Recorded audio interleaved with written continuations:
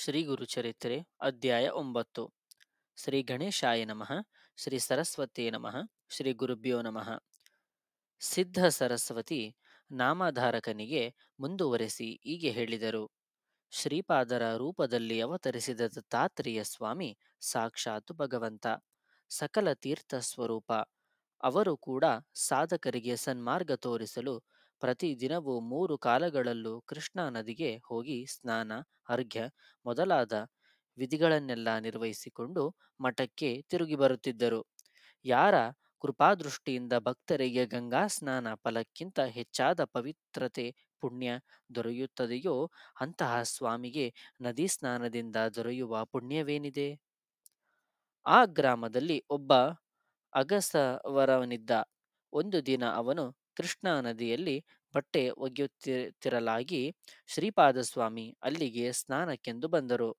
ಪ್ರಶಾಂತ ದಿವ್ಯ ತೇಜಸ್ಸಿನಿಂದ ಬೆಳಗುತ್ತಿರುವ ಸ್ವಾಮಿಯನ್ನು ನೋಡುತ್ತಲೇ ಆ ಅಗಸರವನ ಹೃದಯದಲ್ಲಿ ಅವರಲ್ಲಿ ಅಪಾರವಾದ ಭಕ್ತಿ ಶ್ರದ್ಧೆಗಳುಂಟಾದವು. ಅವರ ರೂಪವನ್ನು ನೋಡುತ್ತಿದ್ದರೇನೆ ಅವನ ಮನಸ್ಸಿಗೆಷ್ಟೋ ಶಾಂತಿ ಹೇಳಲಾಗದ ಆನಂದ ಉಂಟಾಗುತ್ತಿದೆ. ಅಂದಿನಿಂದ ಅವನು ಆ ಸ್ವಾಮಿ ನದಿ ಸ್ನಾನಕ್ಕೆ ಆ ದಾರಿಯಲ್ಲಿ ಬಂದಾಗಲೆಲ್ಲ ಅವರಿಗೆ ಸಾಷ್ಟಾಂಗ ನಮಸ್ಕಾರ ಮಾಡಿಕೊಳ್ಳುತ್ತಿದ್ದ. ಒಂದು ದಿನ ಅವನು ನಮಸ್ಕರಿಸಿದಾಗ ಶ್ರೀಪಾದ ಸ್ವಾಮಿ ಆತನಿಗೆ, ಏನಯ್ಯ, ನೀನು ನಿತ್ಯವೂ ಎಷ್ಟು ಶ್ರದ್ಧಾಭಕ್ತಿಗಳಿಂದ ನಮಸ್ಕಾರ ಮಾಡುತ್ತಿದ್ದೀಯೇ? ನಿನ್ನ ಸೇವೆಯಿಂದ ನಮಗೆ ಬಹಳ ಸಂತೋಷವಾಗಿದೆ, ಎಂದರು.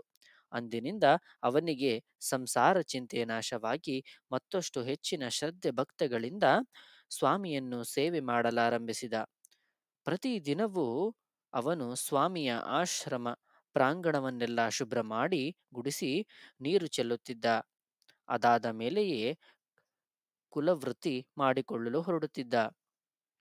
ಒಂದು ಸಲ ವೈಶಾಖ ಮಾಸದ ವಸಂತ ಋತುವಿನಲ್ಲಿ ಒಂದು ದಿನ ಸ್ವಾಮಿ ನಗುತ್ತಾ ಅವನಿಗೆ, ಏನಯ್ಯ, ನೀನು ರಾಜನಾಗಿ ಜನಿಸಿ ರಾಜ್ಯವಾಳುತ್ತೀಯೇ? ಎಂದರು. ಅವನಿಗೆ ಆ ಮಾತುಗಳು ಅರ್ಥವಾಗಲಿಲ್ಲ.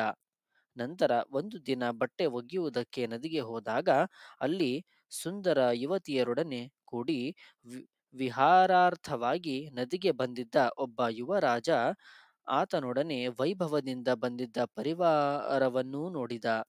ಆ ದೃಶ್ಯವನ್ನು ನೋಡಿ ಅವನು ಸಮ್ಮೋಹಿತನಾಗಿ ತಾನು ನಿರಂತರ ಮಾಡಿಕೊಳ್ಳುವ ನಾಮಸ್ಮರಣೆಯನ್ನು ಮರೆತು ತನ್ಮಯನಾಗಿ ಸ್ವಲ್ಪ ಹೊತ್ತು ಆ ದೃಶ್ಯವನ್ನೇ ನೋಡುತ್ತಾ ನಿಂತುಬಿಟ್ಟನು. ಮಾನವ ಜನ್ಮವೆತ್ತಿದ ಮೇಲೆ ಇಂತಹ ವೈಭವ ಸುಖಗಳನ್ನು ಅನುಭವಿಸಿದರೆ, ಅನುಭವಿಸದೆ ಹೋದರೆ ಜೀವನವೇ ವ್ಯರ್ಥ. ಈ ರಾಜ ಎಂತಹ ಅದೃಷ್ಟವಂತನೋ, ಇವನಿಗಿಂತಹ ವೈಭವ ಬರಲು ಅವನು ಎಷ್ಟು ಭಕ್ತಿಯಿಂದ ಗುರುವನ್ನು ಸೇವಿಸಿದನೋ ಏನೋ. ನನಗೆ ಇಂತಹ ವೈಭವ ಪ್ರಾಪ್ತಿ ಎನ್ನುವುದು ಕನಸಿನಲ್ಲಿ ಮಾತ್ರವೇ ಎಂದುಕೊಂಡ. ಅಷ್ಟರಲ್ಲಿ ಮಧ್ಯಾಹ್ನವಾಯಿತು. ಶ್ರೀಪಾದ ಸ್ವಾಮಿ ಸ್ನಾನ ಮಾಡಲು ನದಿಗೆ ಬಂದರು. ಅವನು ಸ್ವಾಮಿಗೆ ನಮಸ್ಕರಿಸಿ, ಸ್ವಾಮಿ, ಆ ಯಜಮಾ ಯುವರಾಜ್, ಆ, ಯಜಮಾನ ಯುವರಾಜನ ವೈಭವವನ್ನು ನೋಡುತ್ತಿದ್ದರೆ ಆಶ್ಚರ್ಯವೂ ಸಂತೋಷವೂ ಆಗುತ್ತಿದೆ ಎಂದು ಮತ್ತೆ ಅಜ್ಞಾನದಿಂದ ನಾನು ಹಾಗೆ ಭ್ರಮಿಸಿದೆ, ಭ್ರಮಿಸಿದ್ದೇನೆ ಹೊರತು ನಿಜವಾಗಿಯೂ ನಿಮ್ಮ ಸ್ಥಿತಿಯೇ ನಿಜವಾದ ಸೌಖ್ಯವನ್ನು ಕೊಡಬಲ್ಲದೆಂದು ಈಗ ತೋರುತ್ತಿದೆ ಎಂದನು. ಶ್ರೀಪಾದಸ್ವಾಮಿ, ಅದಕ್ಕೇನು? ನೀನು ಹುಟ್ಟಿದ ದಿನದಿಂದ ಕಷ್ಟಪಡುತ್ತಲೇ ಜೀವಿಸುತ್ತಿದ್ದೀಯೇ. ಅದರಿಂದ ಆತನನ್ನು ನೋಡುತ್ತಲೇ ನಿನಗೆ ರಾಜ್ಯ ಭೋಗಗಳಲ್ಲಿ ಪ್ರೀತಿಯುಂಟಾಗುವುದರಲ್ಲಿ ಆಶ್ಚರ್ಯವೇನಿಲ್ಲ.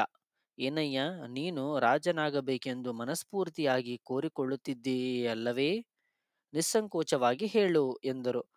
ಅಗಸರವನು ತಕ್ಷಣವೇ ಸ್ವಾಮಿಗೆ ನಮಸ್ಕಾರ ಮಾಡಿ, ಸ್ವಾಮಿ, ನನ್ನ ಅಜ್ಞಾನವನ್ನು ಮನ್ನಿಸಿ, ನನ್ನನ್ನು ಅನುಗ್ರಹಿಸಿ ಎಂದು ಬೇಡಿಕೊಂಡ. ಸ್ವಾಮಿ, ಅಯ್ಯ ಮನಸ್ಸಿನಲ್ಲಿ ಬಲವಾಗಿ ಉಂಟಾದ ಸಂಕಲ್ಪ ನೆರವೇರಬೇಕಾದದ್ದೇ.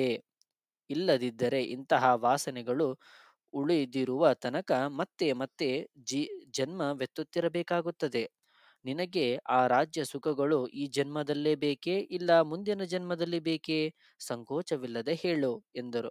ಆಗ ಆ ರಜಕ ನಾಚಿಕೆಯಿಂದ ತಲೆ ತಗ್ಗಿಸಿ, ಈಗ ನಾನು ಮುದುಕನಾಗಿದ್ದೇನೆ. ಈ ಜನ್ಮದಲ್ಲಿ ಅಂತಹ ಸುಖ ಲಭ್ಯವಾದರೂ ತೃಪ್ತಿಯಾಗಿ ಅನುಭವಿಸಲಾರೆ. ಅದರಿಂದ ನನಗೆ ಅವು ಮುಂದಿನ ಜನ್ಮದಲ್ಲಿ ಲಭ್ಯವಾದರೆ ಅವನ್ನು ಆ ಜನ್ಮ ಅನುಭವಿಸುತ್ತೇನೆ ಎಂದು ಉತ್ತರಿಸಿದ. ಆಗ ಸ್ವಾಮಿ, ಅಯ್ಯ, ಇಂತಹ ಕೋರಿಕೆಗಳು ತಮೋಗುಣದಿಂದ ಬರುತ್ತವೆ. ಅವು ಬಂದಾಗ ಇಂದ್ರಿಯಗಳನ್ನು, ಮನಸ್ಸನ್ನು ತೃಪ್ತಿಪಡಿಸಬೇಕು. ಇಲ್ಲದಿದ್ದರೆ ಮನಸ್ಸು ನಿರ್ಮಲವಾಗದೆ ಅನೇಕ ಜನ್ಮಗಳಿಗೆ ಕಾರಣವಾಗುತ್ತದೆ. ನಿನ್ನಲ್ಲಿ ರಾಜ್ಯಾಕಾಂಕ್ಷಿ ಸುಖಲೋಲತೆ ಬಲವಾಗಿದೆ.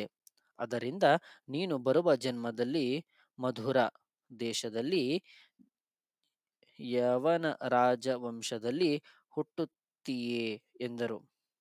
ಅರ್ಥ?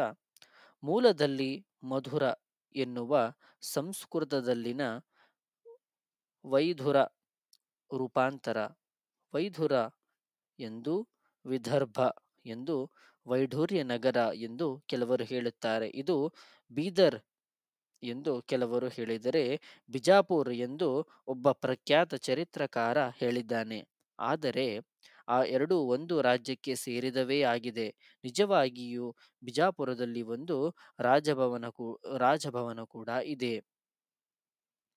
ಅದನ್ನು ಕೇಳಿ ಆ ಅಗಸರವನು, ಸ್ವಾಮಿ, ನೀವು ಕೊಟ್ಟ ವರ ನನಗಿಷ್ಟವಾದದ್ದೇ. ಆದರೆ ಬರುವ ಜನ್ಮದಲ್ಲಿ ನನಗೆ ರಾಜ್ಯ ಲಭಿಸಿದರೂ ನನ್ನನ್ನು ನಿಮ್ಮಿಂದ ದೂರ ಮಾಡಬೇಡಿ. ನಿಮ್ಮಲ್ಲಿ ದೃಢಭಕ್ತಿ ಇರುವ ಹಾಗೆ ಅನುಗ್ರಹಿಸಿ. ಆಗ ನನಗೆ ಮತ ದ್ವೇಷವಿರಬಾರದು ಎಂದು ಬೇಡಿಕೊಂಡ. ಶ್ರೀಪಾದ ಸ್ವಾಮಿ ನೀನು ಈಗ ಎಂತಹ ವೈಭವವನ್ನು ನೋಡಿದೆಯೋ ಅಂತಹ ವೈ, ಅಂತಹ ವೈಭವವನ್ನೇ ಬರುವ ಜನ್ಮದಲ್ಲಿ ಪಡೆದು, ಪಡೆಯುತ್ತೀಯೇ. ಆಗ ನಾವು ಅವತಾರ ಮಾಡಬೇಕಾದ ಅಗತ್ಯ ಬರುತ್ತದೆ. ಆಗ ನಾವು ನೃಸಿಂಹ ಸರಸ್ವತಿ ಎನ್ನುವ ಸನ್ಯಾಸಿ ರೂಪದಲ್ಲಿರುತ್ತೇವೆ. ವೃದ್ಧಾಪ್ಯದಲ್ಲಿ ನಿನಗೆ ನಮ್ಮ ದರ್ಶನವಾಗುತ್ತದೆ. ತಕ್ಷಣವೇ ನಿನಗೆ ಜ್ಞಾನೋದಯವಾಗುತ್ತದೆ. ಭಯವಿಲ್ಲ. ಇನ್ನು ನೀನು ಹೋಗಿ ಬಾ. ಎಂದು ಆಶೀರ್ವದಿಸಿ ಒಂದು ವಿಚಿತ್ರವಾದ ನಗುವಿನೊಡನೆ ಆತನನ್ನು ನೋಡಿದರು. ಆ ಅಗಸರವನು ಅಲ್ಲೇ ಕೆಳಗೆ ಬಿದ್ದು ಮರಣ ಹೊಂದಿದನು. ಶ್ರೀಪಾದರು ಇಂತಹ ಲೀಲೆಗಳನ್ನೆಷ್ಟೋ ಮಾಡಿ ಭಕ್ತರನ್ನು ಗ್ರಹಿಸುತ್ತಾ ಇನ್ನಷ್ಟು ಕಾಲ ಕುರುವಪುರದಲ್ಲೇ ಇದ್ದರು. ಅವರ ನಿವಾಸದಿಂದ ಆ ಕುರುವಪುರ ಬಹಳ ಪ್ರಸಿದ್ಧಿಯಾಯಿತು.